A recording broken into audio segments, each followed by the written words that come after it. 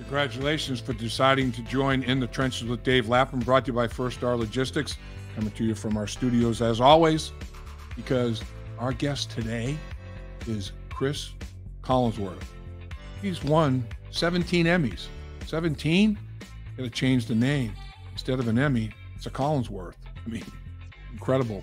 Eight for his studio work, nine for his analysis in game. He knows his football. Obviously, he was a great player himself. Unbelievable wide receiver, six foot five inch frame that could run. He was a size speed ratio guy that was really, really hard to handle. Uh, and uh, we talked about the, the big matchup Bengals, Bills, Sunday night, Paycor Stadium. Place will be rocking. Both excited about calling that football game. There's no doubt about it. It's going to be a lot of matchups that are going to be very interesting to watch. And uh, we talk about a lot of those matchups. We go up and down offensive, defensive matchups for, for both football teams. And nobody knows football better than Cris Collinsworth. Always fun catching up with him, talking with him. I think you're really going to enjoy what he has to say.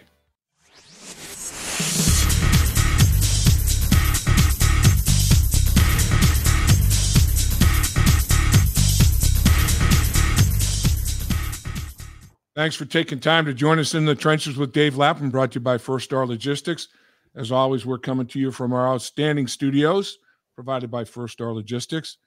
And man, did you make a good decision today? Because we have a stud, we have a superstar, we have the one, the only, the 17 Emmy winner himself. Cris Collinsworth is in the house. CC, what's up, my man? Out of all the introductions I've ever had, the word stud has never been associated with me. That's that's a brand new one right there. Okay, that you are. Hold on a minute. I'm gonna, I'm gonna write this down, man. Hold on. you know what? The thing I love about you, though, too, so many things, but man, 17 Emmys, eight in the studio, nine as a game analyst, versatility, excellence. I mean, you, you honestly are I can't think of a more accomplished guy. I mean, anything that you've done, you've done at the highest level. It's unbelievable. you know better. You know better than that, but I appreciate it. no, it, it, it is. It, it's really amazing. It really is. Plus, you know, the, the uh, majority owner of Pro Football Focus. I mean, are you going to give? You should go to a university somewhere and lecture a course for doctorate in time management? Uh, I am the worst at that. The only one that I'm trying to do today is I'm trying to get to SeaWorld. So I've got I've got my Holly wants to take our 15 month, 18 month, whatever she is now, granddaughter to SeaWorld. I've got calls with the offensive and defensive coordinators at 11, 15, 12. Got our management meeting for PFF at noon. I'm like, yeah, okay. I think I got about 15 minutes of SeaWorld. I think I can do. that is that, that's uh that's amazing. That is really amazing. All right. So what do you think about this football game? An important football game coming up on uh on Sunday night football. Buffalo Bills at Cincinnati, Paycor Stadium, NBC. Cris Collinsworth at the microphone with Mike Tirico. What do you think? Um, it, it, it, may be the best game on our schedule, uh, honestly, because it has so much to it. You know, not only do you have two of the best teams in football, two of the best quarterbacks, two of the best coaches, you got, you know, all that sort of stuff. Uh, you've got the whole Damar Hamlin story that goes along with it. And, you, you know, you were there. You you had your own emotions. I was watching on television. I used to work with Joe Buck and Troy Aikman, right? And I could hear in their voices what was going on. Right? You could understand, and I think that all of us, as former players, as former coaches, as former parents of kids that played football, you know, it all struck us in a little different way, and uh, it was overwhelming. I mean, you knew uh, for for me, it was seeing Josh Allen. You know, I, I think Josh Allen tipped yep. the hand uh, that something way beyond what we were used to seeing was happening on that field. Um, and in many ways, whether it's, you know, the University UC Hospital and their response, whether it was the Buffalo Bills and this training staff that week after week, time after time, they went through a rehearsal of exactly what happened that night. Uh, and if they didn't nail it, if they didn't get it exactly right in a very limited period of time, uh, Damar Hamlin wouldn't be with us for this game. And, you know, to see a football player being administered CPR, now I never saw it. You probably saw it. Yeah. Uh, I, I, should reverse this and ask you, you know, what, what, what could you see from the booth that, that let you know something different was going on? When that happened, when they started doing CPR, trying to resuscitate him, I'm like, no way. Oh, you could actually see it. Yeah.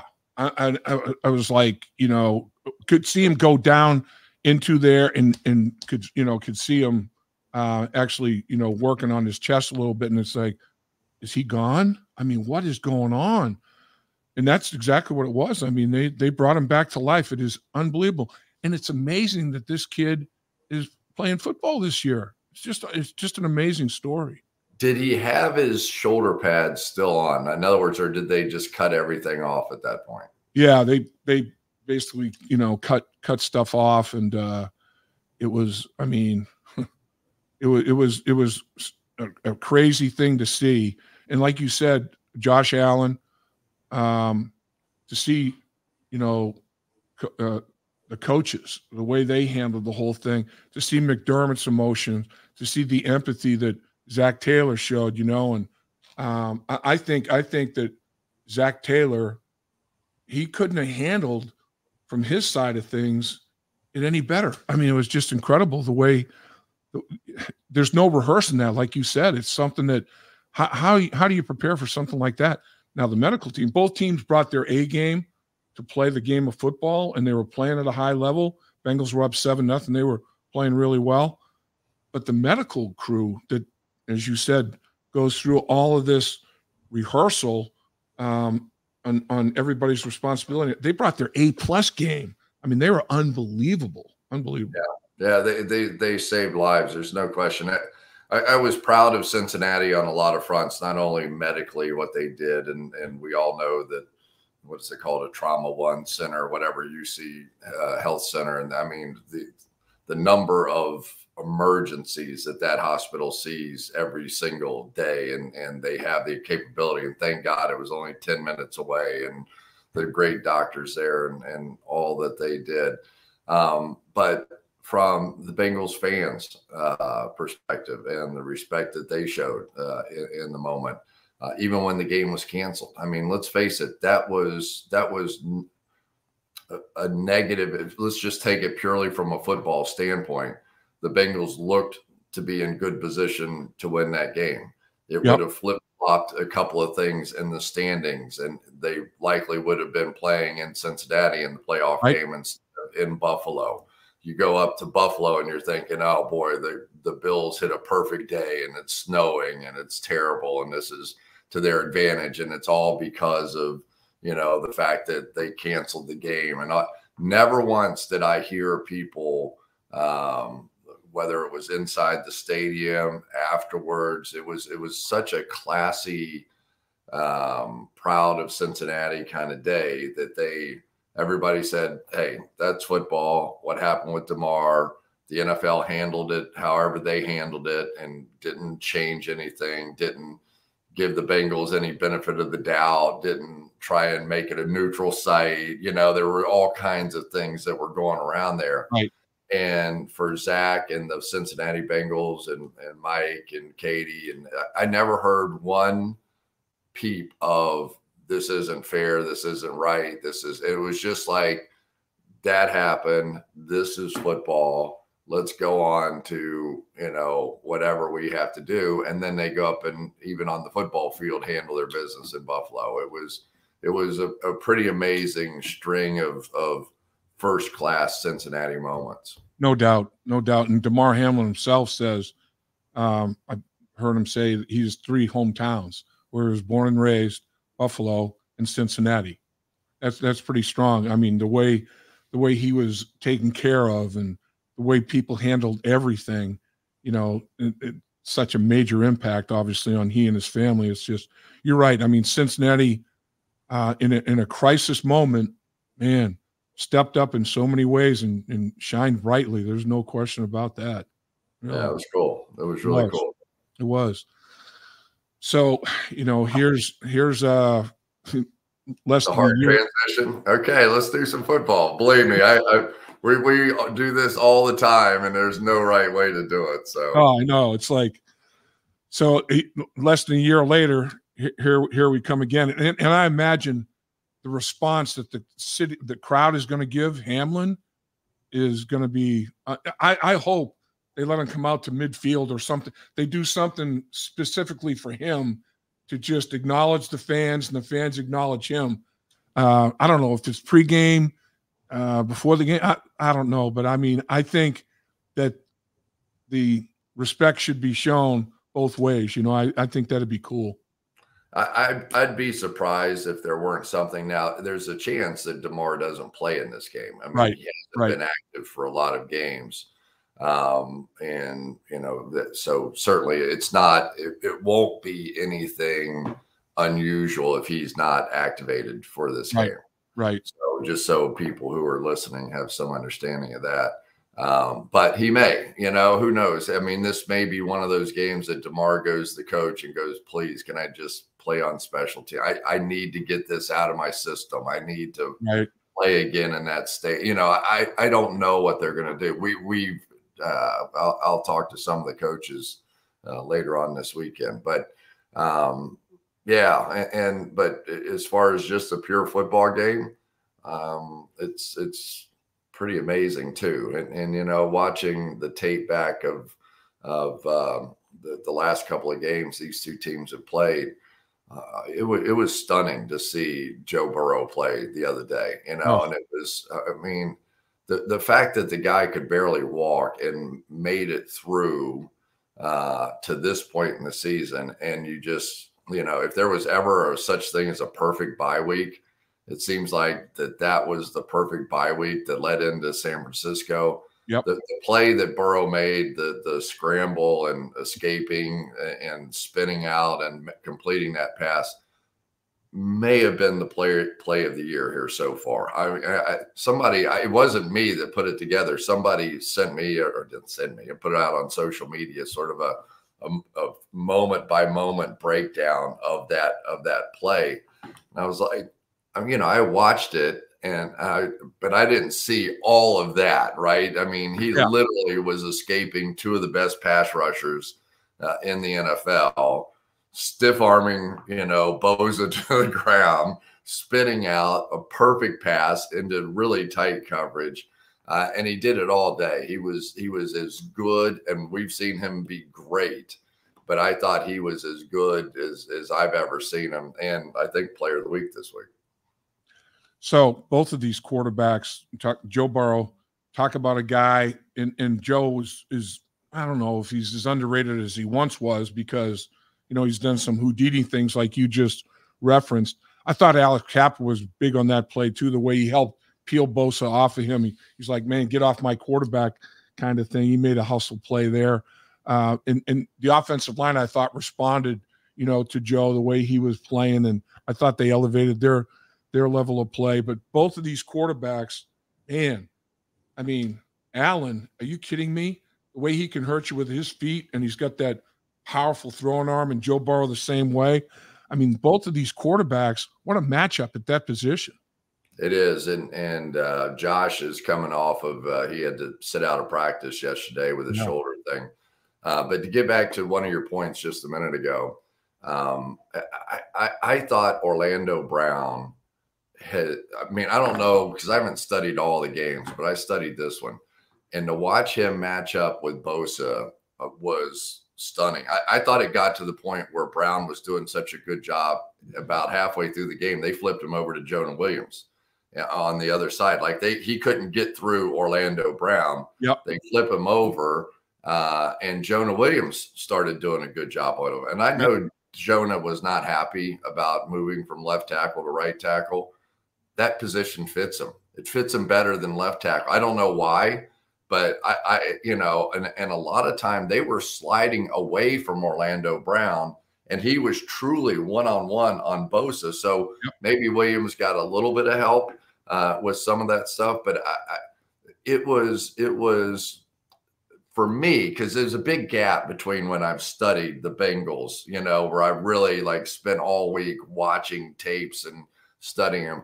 Uh, I, I just thought their offensive line had taken a big jump over what I had seen and I'm assuming Orlando Brown and the changing of Williams over to the other side was a big part of it.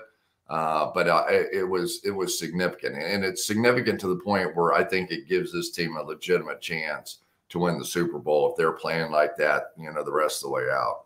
I agree. I thought that it was their their best game. Honestly, I thought that it was the most complete game the Bengals have played since the game you referenced, the playoff game in the snow in Buffalo all three phases in that game played complementary football, and the Bengals handled the Buffalo Bills handily. And I thought this game in San Francisco, that was probably since then the most complete game the team, you know, has played. And both of those are on the road.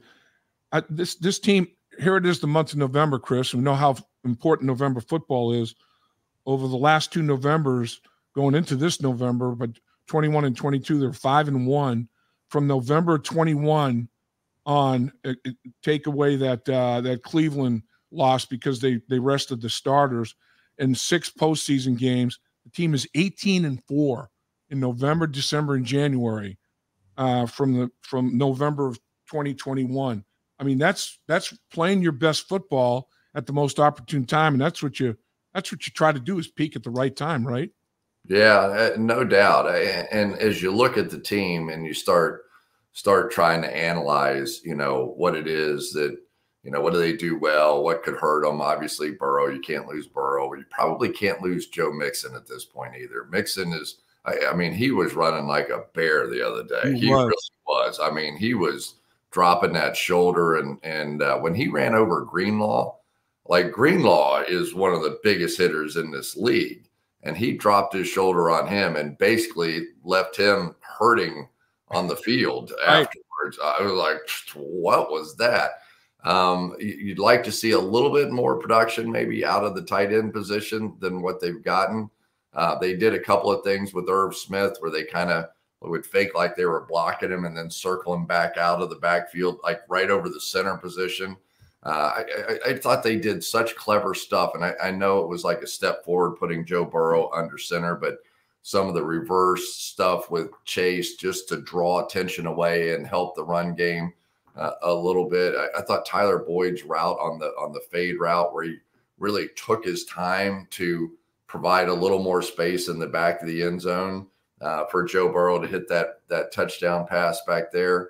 Uh, mm-hmm. and, and, even uh, Yossi, Yo, Yo, I'm still working on his name, Yosivish, Yosivash. Yosivash. Uh, yeah. Yosivash. Yosivash you know, that was a pretty play. So, yeah. and, but you probably, without going to the play of the, of, you know, the linebackers and the secondary, um, th- this is a team that's starting to get there. I didn't know, you know, give, give uh, Lou credit for the idea that he was asked to, you know, do it without Bates, do it without Bell, you know, kind of change over. They're so young on that back end of the secondary um, now, and, and, but it looks like that's coming together. Jordan Battle with a huge tackle uh, in the middle of the field. DJ Turner's having to make and play significant time with Chidobe sort of in and out of that lineup. So this is this is a team that um, you know I, I, I really do. I feel pretty good about them. I, I feel pretty good about at least in comparison to anybody else in the league. They they got the quarterback. They have the receivers. They're at sort of that time before they have to start making really hard decisions about the salary cap. Uh, and you know, what do you do with Tee Higgins? How does Tyler Boyd fit in? You know, what do you do with all that stuff? Um, but but as far as this year, and it's what I thought we would see out of them this year that because of Burrow's injury, we really didn't see until last week. Absolutely. I mean, the first month of the season, he was stationary. I mean, it, it was it was a tough dynamic, and uh, the, the off season, all the tweaks and the different things the coaches had you know, added to the play. They had to just junk all of it until, you know, the last couple of weeks. And now they're introducing a lot of stuff that they wanted to introduce since Jump Street, but they hadn't had a chance to do it. So it's going to be interesting to see. The similarity, too, is you got two outstanding quarterbacks who each have a receiver that can carve it up, Chase and Diggs. And since the beginning of last year, they're both top five at this point, last season and, and to date this season, in terms of receiving yards. So these guys can get it done. Um, and that was your forte. You were multiple, what, three or four Pro Bowls in your eight year career. Um, you know, you, you, you knew what life was about in that regard. How do you, what do you think of, the, of those standout receivers? Yeah, you know, Gabe Davis is the other one, and there it's in and because they're missing so many of their tight ends, you're seeing Gabe Davis having to play some of the tight end role. So some of the when they would bring two tight ends down, they'll bring Gabe Davis in there with Dalton Kincaid, who's also much more of a yeah. receiver. Yeah. You know, he's the first round pick. I, I thought Kincaid on tape for getting ready for the draft looked as much like Travis Kelce as anybody I had seen. He is not a big guy, but he knows how to read defenses. You would think he played quarterback at some day. Uh, he's he really understands the zones and how to get open and how to position himself. Uh, and and uh, when Josh Allen talks about him, it's in glowing terms. It really is, and you can see it uh, on the tape as well. Um, the, then they had a couple of guys. So Kincaid broke out but so did uh, Khalil Shakir, number 10 on the Buffalo Bills. So keep an eye on him. He was their leading receiver uh, a week ago, and he's sort of that punt return kind of guy. And then they've got another one, Deonte Harty, um, who used to be Deonte Harris, I think, that, you know, the Saints, he changed out of respect for his stepfather. Uh, and then James Cook in the backfield. So they're, they're much younger uh, than what they've been. Uh, Gabe Davis fills multiple row, rows. He's a stud when you're in the room with him. You know, you you think you're you're interviewing a, a running back or something instead no, of, of, a wide receiver type of guy. Uh, but they're legit. I mean, a good solid offensive line. They really improved up front, David, where they, you know, they had Dion Dawkins and Spencer Brown on the outside, but they draft uh, O'Cyrus Torrence, who was out of the University of Florida guard Mitch yep. Morse, we know what he can do from the center, one of the most mobile guys. You'll see Mitch Morse on the move all the time and Dion Dawkins pulling all the time out in front. Dawkins yep. for a big tackle uh, can really move. But maybe the guy that helped them the most was Connor McGovern playing that left guard position. So they really solidified the two guard positions. And, you know, from a quarterback standpoint, being able to step up a little bit into that pocket and especially some of the run opportunities it'll be, but it'll be interesting to see how much Josh Allen actually runs in this game because of that shoulder injury. You know, he he looked great running on Thursday night against the Bucs ten days ago or whatever it was. By the time we get to game time, uh, but but will he be willing to run again? Ah, it's a long season, you know what I mean, and then it's yep. it's you got to have that guy. There's no way they're winning anything without him. I think you might see him pare back a little bit from running him, but I, I don't know that. Yeah, I mean, I don't, I don't anticipate they've, they've in the past had the design calls, the quarterback draw, quarterback counter, quarterback sweep. I, you know, I, I don't, I don't think there's going to be a whole lot of those, you know, designed run package uh, snaps called. I might be wrong on that, but I it'd be hard to anticipate that to be the case. The thing though, I'm, I'm looking at, at Josh Allen and I'm thinking, oh man, Purdy threw for 360 and almost rushed for another 60, 50, whatever. He had 410 yards, you know? And it's like Josh Allen, I mean, it, it had trouble with Purdy. Josh Allen's a bigger version, bigger, stronger version of that when healthy, but it's going to be uh, interesting, interesting to see how they uh, they try to contain and control him. Their defense has been beaten up. Um, they they they lost, you know, like a, a really good player at every level. Jones yeah. is out, who's a big, massive defensive lineman you know, in the run game. Milano's out, and they they lost White, but they signed Doug. Uh, they traded for Douglas. What do you think there, Chris? How much how much time do you think Douglas will get, and do you think Leonard Fournette will be a factor in this football game? Or is it too early with those guys? I, I don't think either one of them. I, I, I don't know for sure. I, I, didn't. We haven't talked about that, but I'd be surprised. Uh, like I don't even know if they've had their physicals yet. You know, yeah. so um, I, am gonna I'm gonna tend to doubt that one until I actually see it. Yeah, um, but it, it is it is a it's a good defense.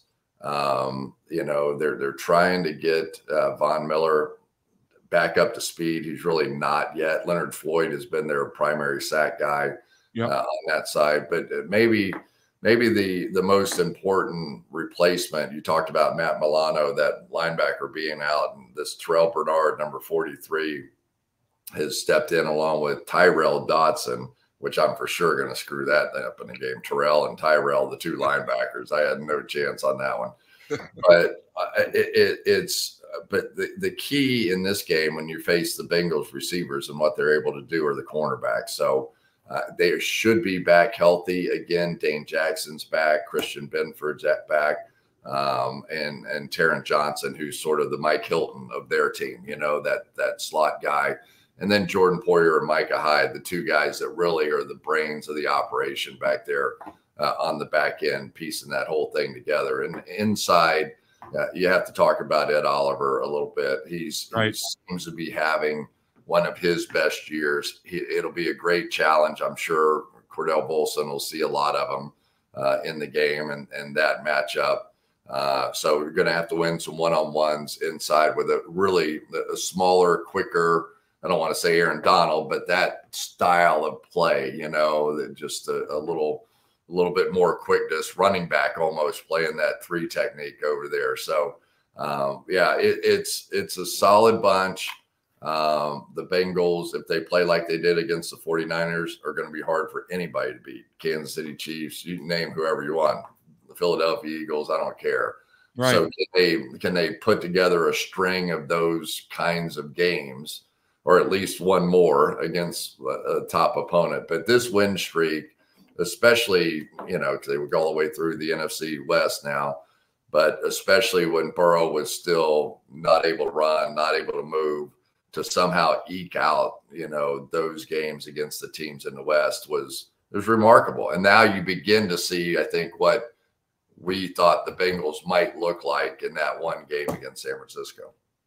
I'm trying to get a petition out in the stadium for fans to sign to uh, to the commissioner to request a, a, a, movement to the NFC West just for this year because we're swept already. So you know, just move the division one season and uh, and come back and play. You know, in in the AFC North after this. But yeah, swept that uh, NFC. Got to start stacking some AFC wins. Uh, there, there are no two ways about that. It's uh it's going to be a it's going to be a great football game. The one thing that you know is incredible, and I, I know you've been to the stadium many times. I mean, Paycor has become a tough place to play. Everybody I talk to around the league, man, Paycor Stadium, that's rough, man. That, that, that place is you can't hear hear yourself think. That's unbelievable. That's a huge edge, man.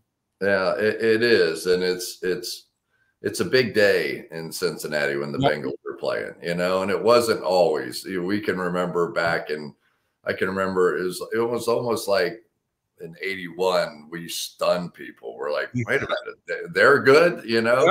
and then yeah. i it felt like this year even with the national media it felt like there was a, this moment in time where they were like oh okay the bengals are back to being the bengals again you know and they started off whatever it was one and three.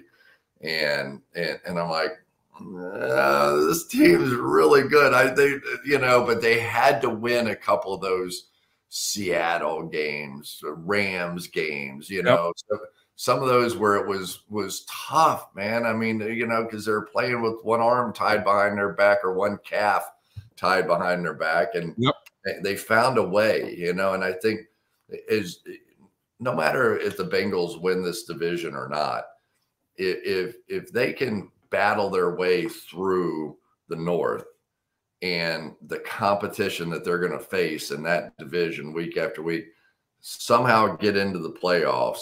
Who cares if they play on the road? We saw in buffalo they can they can handle that. But just get in this playoff mix healthy i think teams are going to have a, their hands full trying to beat them i really do. And, and uh, we've we know they can play in kansas city. We know they can play in buffalo. We know they can play in baltimore You know, those are the those are the teams you're you know, Miami sitting out there. The the the AFC is loaded, yeah. loaded with talent. It and is. yet when you're looking around, you're going, is there anybody you like more than the Bengals? There are teams I like as much, but I can't say there's anybody after last week that I like more than what I saw from Cincinnati. Let's uh let's get you out of here on this one, Chris, and and can't thank you enough. I know you're you're busy, man. You uh like a one-legged man in a butt kicking contest. Uh, you're you're a busy guy, no question about that. And and for you to carve time means a lot, and I really do appreciate it. We all know, in any level of football, turnovers are a big deciding factor. The Bengals uh, got three turnovers, three takeaways against the 49ers in 15 minutes and 12 seconds. I mean, the first one was 12 seconds to play in the third quarter. They got another couple in the uh, fourth quarter. Josh Allen, eight interceptions, amongst the most in the league. He's got four of them on third down. Lou Anarumo, with all of his packages, it's disguises, pre-snap look, post-snap look, totally different. How big a factor do you think that's going to be? Uh, always, you know, always yep. a factor. Uh, and it, it really has helped. It, I was sort of relieved for the Bengals that Hendrickson, uh, that injury to his foot or whatever wasn't serious. He came back in. Yep. I, I don't know where he stands for this game. Did he have any sort of lingering uh, impact with that? And, you know, Hubbard. Uh, but what Josh Allen was talking about were these uh, these linebackers, Germaine Pratt, some nice plays a little bigger role in this defense and, and how they're playing it now. But his real praise was for Logan Wilson, who I think has some tie to his school or or whatever the case may be. Right? He was out in that. They played together at Wyoming. Yeah. Yeah. So it, it's that that's their their common bond. So he was building him up a, a little bit, but for me, it really came down to how much of a transition period would it be without Bates, who's playing great? Jessie Bates playing great in Atlanta. Vonn Bell, who was sort of the enforcer coming down there. And they, I guess now the Bengals are playing sort of that Nick Scott, Jordan Battle, you know, playing both of those guys in there. We even saw, um, you know, some some different Mike Hilton back some and playing some safety stuff. So it it's it, I don't think it's there yet and, and Lou's defense is so complex. You know, he expect that's the reason rookies just don't get on the field. You know, it's like every detail matters. And if a rookie screws up one thing and it's a touchdown. And so the, the fact that these guys are being force fed in here and, you know, made mistakes early and are having to learn on the fly and all that stuff bodes well for me for the end of the season and, and potentially the kind of turnovers uh, that you're talking about. Yeah, and uh, you mentioned the safeties, Poyer and Hyde. You know, if the Bengals safeties can play as well as those two, or even better, the big matchup last week was, you know, Warner and, and Greenlaw. It, those two linebackers, man, that's a duo. Well, Wilson and Pratt, pretty damn good. They each get an interception. They impacted the game, you know, more than the 49ers two linebackers did. They're great. I mean, both tandems are outstanding will the Bengals safeties be able to impact the game like the Buffalo Bills expect their safeties to? That's going to be an interesting one to watch as well. But a lot of stuff to think about for this one, as always, right? That's the NFL, man.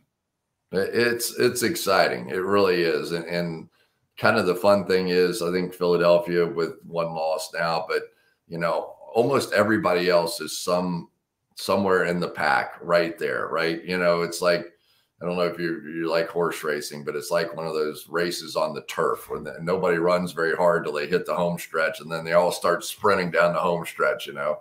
And so I think that's what this year is going to feel like. It's going to be, you know, how do we, how do you position yourself uh, to make that stretch run healthy? Uh, and as of today, you would you would feel pretty good about where the Bengals sit. Um, but you know, you turn around and get beat by the Buffalo Bills at home, and all of a sudden it's like, ah, that, that wasn't.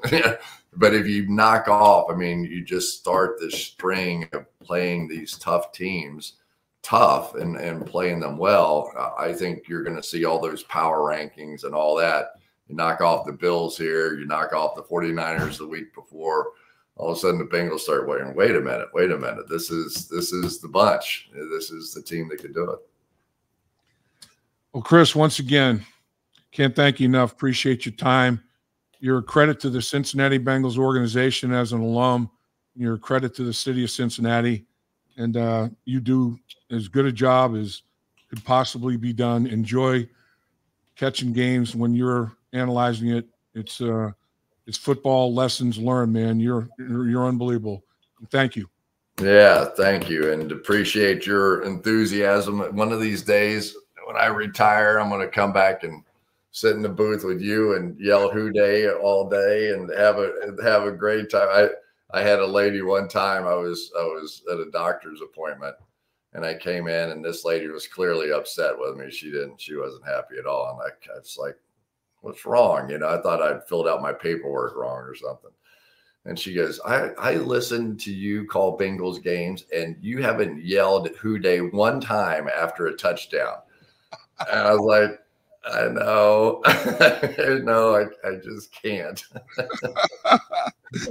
and uh, but one day, one day I will be able to do that. As always, you're the best. Thank you, sir. Good talking to you, Dave. Same here, CC. Dave Lapham here, and every day I am grateful for my experience to have played professional football.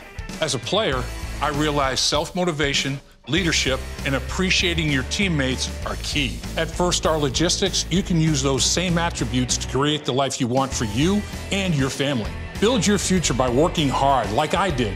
You'll see results both on and off the field. Call First Star Logistics today and be part of our winning team.